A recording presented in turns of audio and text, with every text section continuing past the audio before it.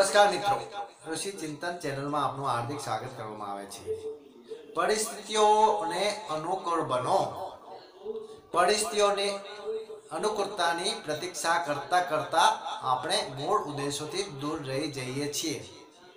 જીવનમાં જે આપણું લક્ષ્ય છે, એને પરિસ્થિતિઓની રાહ જોવામાં ભૂલી જઈએ છીએ.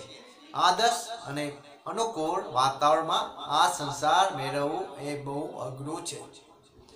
પરિસ્થિતિઓનું નિર્માણ કરવું એ આપણા હાથની વાત છે. મનની શક્તિ તેમજ આંતરિક સ્વાવલંબન દ્વારા આપણને એમનું નિર્માણ કરી શકીએ છીએ. આપણે જેવું ઈચ્છીએ, જ્યારે ઈચ્છીએ, ત્યારે હંમેશા કરી શકીએ છીએ.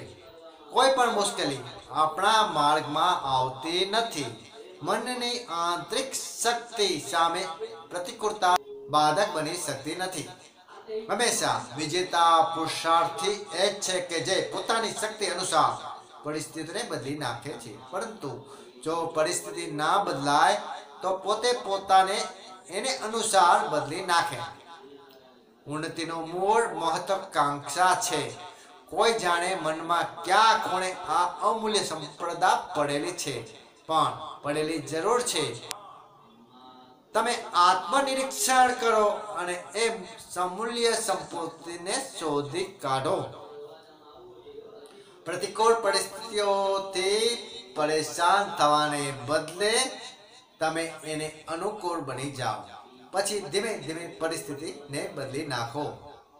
મનગમતી પરિસ્થિતિઓ આ સંસારમાં મેળવવી ખૂબ મુશ્કેલ છે. પરંતુ પરિસ્થિતિને આપણને અનુકૂળ બનાવવી સરળ છે. તમે વિચાર તથા મન સ્થિતિ બદલીને પરિસ્થિતિને બદલી શકો છો. અખંડ જ્યોતિ મેં ઓગણીસો ને ઓગણપચાસ, પેજ નંબર વીસ ગાયત્રી શક્તિપીઠ જેતપુર આપનું હાર્દિક સ્વાગત કરે છે.